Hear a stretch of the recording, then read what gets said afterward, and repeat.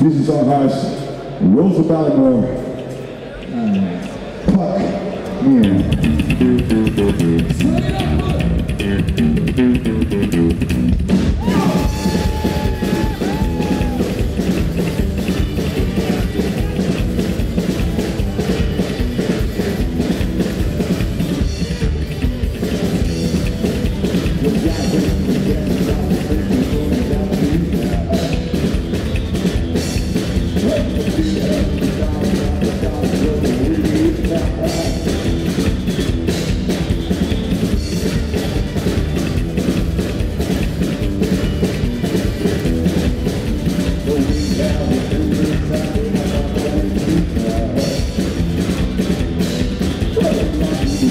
Obrigado.